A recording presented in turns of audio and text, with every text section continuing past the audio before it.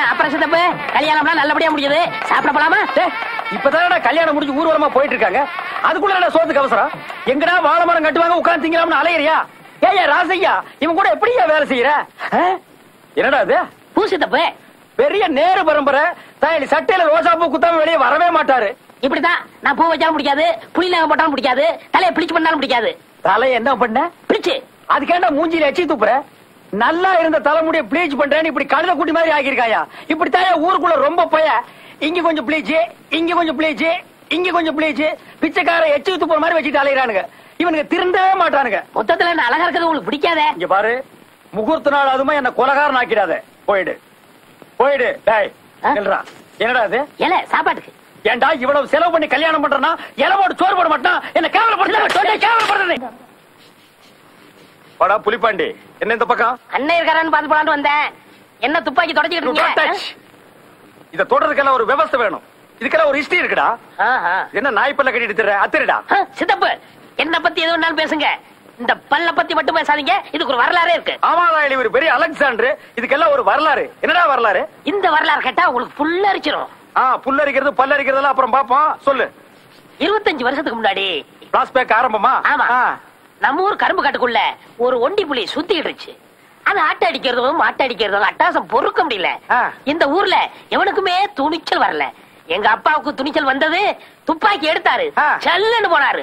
கூட எங்க ஆத்தா போச்சு. ஏன் கொப்பனுக்கு சுட தெரியாதா? என்ன கேட்க கூடாது கேட்டேன்னு நீ அழுகிற நீ எங்க ஆத்தா நிறமாச கற்பிணி. வகுத்துக்குள்ள நான் இருந்தேனா ஆ. எங்க ஆத்தா தலை மேல பானை இருந்துச்சு. எதுக்கு? புளிய சுட்டு அதை பாறைக்குள்ள போடுறதுக்கு. வேட்டை பம்பு தண்ணி வைக்கும்ல ஓஹோ. அதுக்குதான். இந்த இடம் தான் தெரியலீங்க இடம் மனச தேத்திக்கங்க பயந்துறாதீங்க. நான் பயப்படல நீ தைரியமா சொல்லு. என்னடா கரடி கக்கூஸ் போன மாதிரி ஒரு சவுண்ட்? புலி சத்தம் நீ தான் கோத்தா வயித்து கூட்டிருந்தியா? உனக்கு எப்படி சத்தம் கேட்டது? எங்க ஆத்தா சொல்லிச்சுல? கோத்தா ஒண்ணு விடாம சொல்லிட்டாளா? புலி பக்கத்துல வந்துச்சு. எங்க அப்பா புலிய பாக்குறாரு. துப்பாக்கியும் பாக்குறாரு. எங்க ஆத்தாவையும் பாக்குறாரு. எந்த பக்கம் ஓடலான்னா? இல்ல. இதுல இருந்து தோட்டா வெளிய வரல? எங்க அப்பா புலி சுட்டுட்டாரு. புலி சுருண்டு விழுந்துருச்சு. சத்தம். புலி குட்டி போட்டுருச்சா? இல்ல நான் பிறந்துட்டேன் நீ அந்த இடத்துல போறதுட்டியா? ஆமா. ஆனா எங்க அப்பாவும் எங்க ஆத்தாவும் என்ன பார்க்க மாட்டேன்னு ஓடி போயிட்டாங்க. இப்படி பேய் மாதிரி பிறந்தா எந்த தாய் தகப்பன் தான் உன்னை பாப்பாங்க அதான் அன்னைக்கே ஓடிட்டாங்க. அதுல சித்தப்பு ஒரே கூடி நின்னு அதிசயமா என்ன வேடிக்கை பார்த்தாங்க. பின்ன பார்க்க மாட்டாங்க? இப்படி ஒரு சனியம் பிறந்துருச்சே இது எப்படி சாகடிக்கலாம்னு பாத்துருப்பாங்க இந்த இடத்துலதான் புலிக்கும் எனக்கு சென்டிமெண்ட் வந்துச்சு. புலி எனக்கு பால் கொடுத்துச்சு. அன்னையில இருந்து எனக்கு புலிப்பாண்டின்னு பேரு. ஆமா. இவர் பெரிய ஐயப்ப சாமி. புலி வந்து மண்டி போட்டு இவருக்கு பால் கொடுத்தது. டேய் படுவா இந்த பல்ல அத்தறிஞ்சிட்டு நாய் பல்ல கட்டிக்கிட்டு நாளையில இருந்து நீ நாய் பாண்டின்னு பேரை மாத்தி வச்சுட்டு அலையிற. இவ்வளவு வீரமா பேசுறீங்களா? புலி வந்தா சுடுவீங்களா காட்டுறா புலிய. பத்தடி தூரத்துல புலி இருந்தாலும் சரி பக்கத்துல வந்தாலும் சரி இப்படியே மண்டை செதற அளவுக்கு சொல்றேன் ஒரு நாளைக்கு புலி வரத்தான் போகுது. அப்ப உங்க வீரத்தை கட்டுக்க எங்கடா மூச்சரிக்க விடுற? மேல தெரியல புலி வந்திருக்கு. அவசரமா எங்க ஆத்தா கிட்ட சொல்ல போறேன். திருவிழா புலியா? சித்தப்பு உங்க துப்பாக்கிக்கு வேட்டை வந்துருச்சு. புலிப்போருக்கு போற நீங்க வெற்றியோட தான் திரும்பணும். நீங்க திரும்பி வரும்போது உங்களை நான் புலியோட தான் பார்க்கணும். கவலைப்படாத சிகப்பி முன்வைத்த காலை பின் வைப்பது எங்கள் பரம்பரையிலேயே கிடையாது. நான் புலியோடு தான் வருவேன். ஜெய் ஜக்கம்மா! வெற்றியோட வர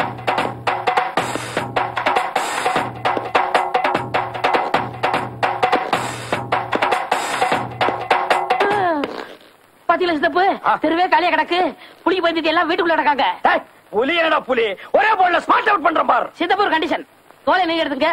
புலி பல்ல என்கிட்ட கொடுத்துருங்க. புலி மசர கூட உனக்கு கொடுக்க மாட்டேன். நான் அப்படியே பாடம் பண்ணி ஞாபகார்த்தமா வீட்டுல வைக்க போறேன். எங்கடா புலி? ஆ, ஆ, சீக்கிரம். சீக்கிரம். ஏய் come on tiger come on tiger come on அது come on. நாயே. Ah.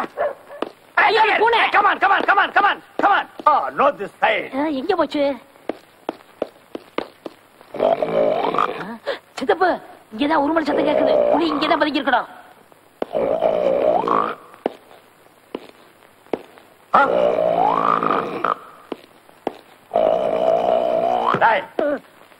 ஊருக்குள்ள புலி வந்துச்சுன்னா அவன் பயந்து ஓடிட்டு இருக்கான். புலி நக்குனால நீ செத்து போயிடுவ. உனக்கு புலி மாதிரி தப்பு தப்பா. ஓடியாங்க ஓடியாங்க. சித்தப்பு இங்கதான் புலி வாசனை அடிக்குது. பக்கத்துல தான் பதுங்கி இருக்கும் பார்த்த உடனே சுடு. ஐயோ சுட்டாங்க சுட்டாங்க சுட்டாங்க ஏய், புலி புலி நீ எங்க புலி? பயப்படாம சொல்லு நான் இருக்கேன். பயப்படாம சொல்லு நான் இருக்கேன். இல்ல நீங்க இருக்கீங்க. இதுக்குள்ளதாங்க இருக்கு. உங்களுக்கு எத்தனை கிலோ வேணும்? அட பாவிங்களா? புலிய அடிச்சு கறியாக்கி அந்த கிலோ கணக்குல விக்க ஆரம்பிச்சிட்டீங்களா? கொட்டை எடுத்தது வேணுங்களா? கொட்டை எடுக்காது வேணுங்களா? ஓ அத வேற எடுத்துட்டீங்களா? ஐயோ குழப்புறீங்களே. இது குழம்பு பிடிங்க என்னது? குழம்பு புலியா ம், இங்க ஒரு குழப்பு புலிய கூட இருக்கிறான். ஏண்டா? காட்டு புலிய காட்டுறான்னா வீட்டுல பொம்பளைங்க கரைக்கிற புலிவா காட்டுற? உன்னை ஷூட் பண்ணிடுவேன். இளமை இதோ இளமை இதோ இளமை இதோ இதோ ஏ. நல்லா கேட்டுக்குங்க சார். நாற்பது நாட்கள் இந்த லேகியத்தை தொடர்ந்து சாப்பிட்டா நரை திரை மூப்பு நீங்க இளமை திரும்பும். நரம்பு முறுக்கேறும். கலர்ல கமல் மாதிரியும் சுறுசுறுப்புல சூப்பர் ஸ்டார் ரஜினி மாதிரியும் வரலாம். நாற்பது நாள் சாப்பிட்டா தான் இளமை திரும்புமா?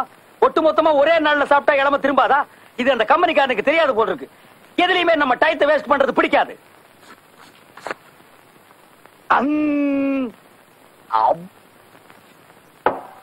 நாளைக்கு பொழுது விடிஞ்சா நம்மளோட இளமை அழகு எல்லாமே சிகப்பிக்கு தெரிஞ்சு போயிரும்.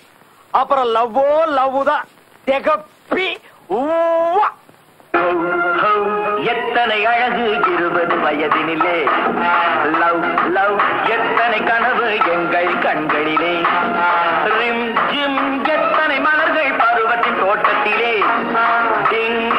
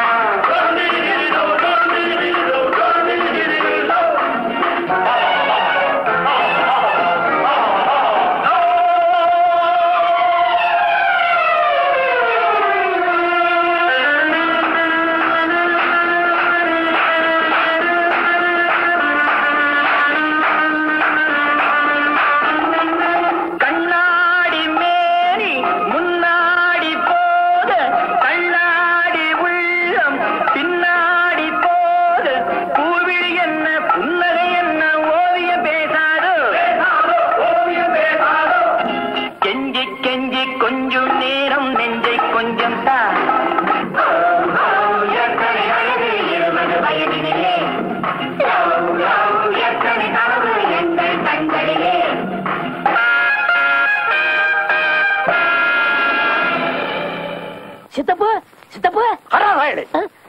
அறிவு கெட்ட நாயே அஞ்சு லட்சம் ரூபாய்க்கு செட்டு போட்டு கலர் கலரா கனவு கண்டுட்டு இருக்கிற கிழவி எல்லாம் கோமரி ஆகிற நேரம் பார்த்து கலந்து தலை விட்டு கெடுத்துட்டியடா. அது இல்ல சித்தப்பு. நம்ம பக்கத்து ஒரு பழனிசாமி இல்ல ஏதோ இளமையாடணும் லேய வாங்கி சாப்பிட்டானா? திடீர்னு செத்து போயிட்டான். ஐயோ அம்மா!